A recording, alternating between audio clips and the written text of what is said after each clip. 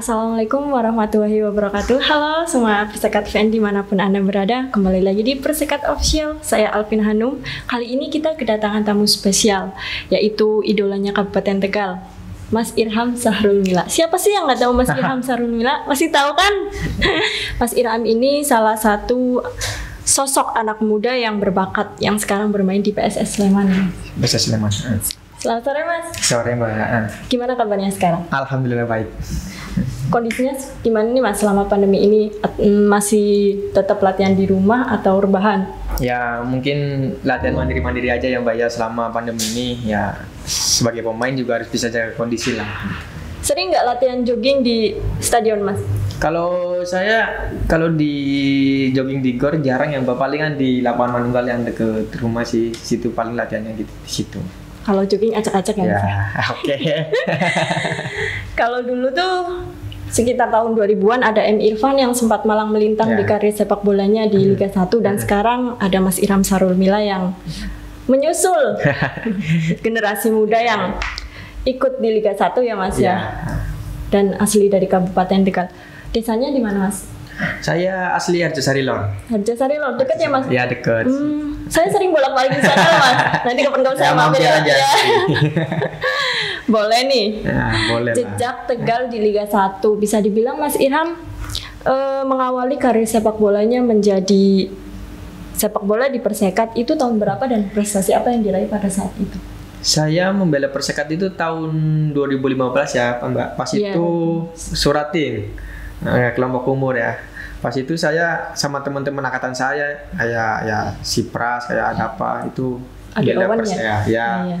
bela Persekat terus ya pas itu kan PSSI dibekukan kan sama Menpora itu. Iya. Nah, akhirnya diganti kalau nggak salah itu Piala Remaja akhirnya.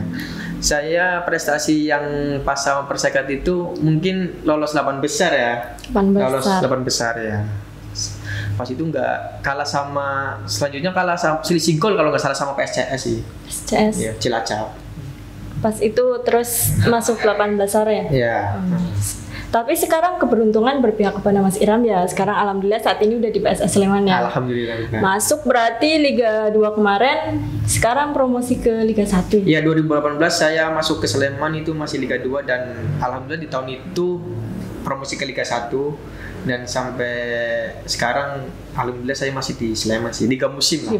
Liga- Alhamdulillah sekarang Persekat juga Ya, promosi ke Liga 2 alhamdulillah. Mas. Ya, alhamdulillah. Semoga bisa menyusul ke Liga Ya, 1. amin, amin. Amin, amin. Nah, terus seperti yang kita pantau sejak di SSB, di Persekat, lalu di Persib Pekalongan, Ya. Persibas Banyumas, Coach Nazal itu selalu membawa Mas Irham. Ya. Ibaratnya di mana ada Coach Nazal, di situ ada Mas Irham. Hmm. Nah, pendapat Mas Irham tentang Coach Nazal seperti apa? Ya, pertama saya sangat berterima kasih lah Mbak kepada beliau ya. Mungkin dari SSB dari saya mungkin belum bisa apa ya tendang bola Iya. jauh ya. Saya diajarin sama dia dan sampai mungkin saya SSB di yang megang pada saya itu ada 10 tahun lah 10 di tahun. Binatama itu. Ya, sosok dari Gus Nazal ya emang dulu emang dia keras. Keras. Emang dia sifatnya, cuman dia kerasnya itu karena biar anak dirinya itu jadi gitu. Ya saya, saya sangat berterima kasih lah sama Coach Nazal yang udah dididik dia dari Pekalongan, dari Banyumas, Banyumas. dan sampai akhirnya saya bisa main di Liga 1 ya berkat beliau Berkat. dan mungkin doa beliau juga. Ya. Mungkin permainannya Mas Irham cocok kali ya dengan for- pola formasinya Nazal. Ya mungkin karena saya dari kecil udah ikut Nazal lah gitu. Seperti yang kita tahu bahwa Mas Irham tuh kemarin mengikuti SEA Games pada 2019 Ya. dan runner up ya Mas Ya, Dan runner up. sekarang ngomong-ngomong kayaknya dipanggil lagi ya Mas untuk SEA Games 2021. Betul Mas? Ya kemarin pas ada panggilan pas perta- eh, apa hmm, panggilan pertama di bulan Desember ya, Iya. saya alhamdulillah dipanggil lagi. Ya pertama juga kaget juga ada panggilan lagi, saya kaget. Kaget. Kaget akhirnya. Pas itu TC di Jakarta selama 10 hari sih. Iya. 10 hari, 10 hari di Jakarta di lapangan G kalau nggak salah tandingnya itu. Tapi setelah itu pulang dan kemarin bulan ini eh bulan ini bulan Februari ada panggilan lagi. Lagi. Tapi sayang mungkin saya belum rezekinya. Tapi kesannya Ada gimana Mas? Ketik bisa dipanggil kembali gitu.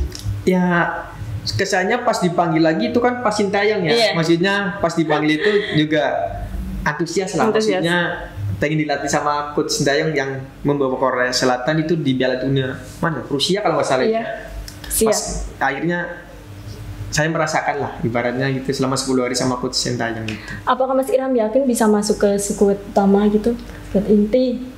kalau yakin pasti mbak maksudnya kita juga sebagai pemain juga harus kerja keras dan mungkin ini kayak misal ini kan izin udah keluar mungkin Iya. pramusim nanti saya bisa menunjukin apa kualitas saya lah biar bisa dipanggil lagi sama coach Sintayong Ya mudah-mudahan bisa Ya, masuk ke skuad amin. inti ya Mas ya. Amin. dan bisa membawa nama timnas Indonesia sebagai Amin. juara. Mm-mm.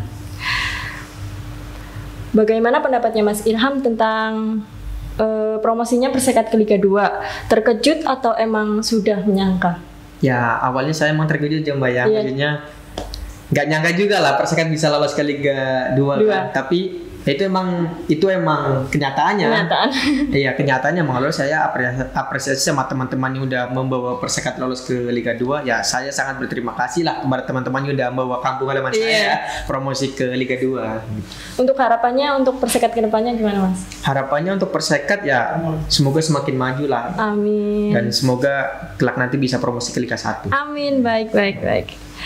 Kemudian Mas Iram, ngomong-ngomong ada nggak sih keinginan kembali lagi di Persekat barangkali bisa membawa Persekat ke Liga 1? Ya mungkin namanya putra daerah pasti adalah pengen membela eh, kampung halamannya.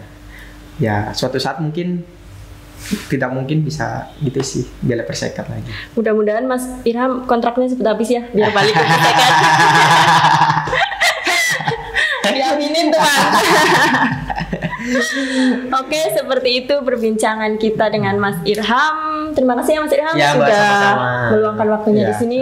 Sukses selalu dan semangat selalu di karir sepak bolanya. Siap. Mudah-mudahan juga bisa menjadi bisa memotivasi para generasi muda untuk bisa mengikuti jejaknya Mas Irham ya. Ya, amin amin. Amin.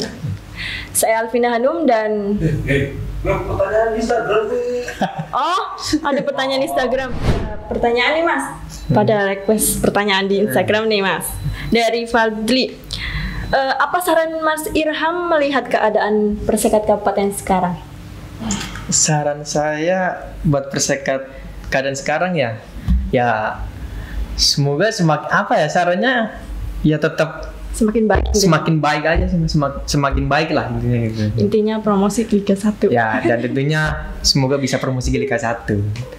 Kemudian ada dari Raka Sandip, hal penting apa saja yang harus kita persiapkan untuk memulai berkarir di sepak bola? Ya, hal penting hal penting ya pertama kerja keras latihan lah. Maksudnya kita juga pemain sepak bola Iya. harus lah kerja keras, berdoa dan terutama sholat jangan pernah ditinggal. Iya. Kalau saya ya. Pasti. Ya.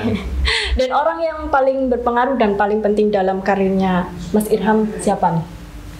Tentu kedua orang tua. Bukan pacar nih Mas? Bukan. Bukan. Kedua orang tua sangat Ada request juga nih Mas. Udah nikah belum? belum lah masih Oh, belum. masih muda. Tuh yang masih tanya masih tadi. bocah. Oke demikian tadi perbincangan saya dengan Mas Irham. Eh, Mas Irham emang hebat ya sekarang di Liga 1. Terima kasih ya Mas Irham Ya, sudah sama-sama. meluangkan waktunya Ya. di sini dan sukses selalu. Amin, Intinya amin. Semangat selalu dalam Semangat. karir sepak bolanya. Semangat ya. Semangat. Oh iya motivasinya buat para sepak bola Kabupaten Tegal gimana nih? Hmm, motivasinya buat anak-anak muda Kabupaten Tegal jangan pernah patah semangat untuk mengejar impian kalian menjadi pemain sepak bola profesional kerja keras Jangan keras. Demikian itu dan saya Alvina Hanum dengan Mas Irham pamit undur diri sampai jumpa lagi. Assalamualaikum warahmatullahi wabarakatuh. Waalaikumsalam.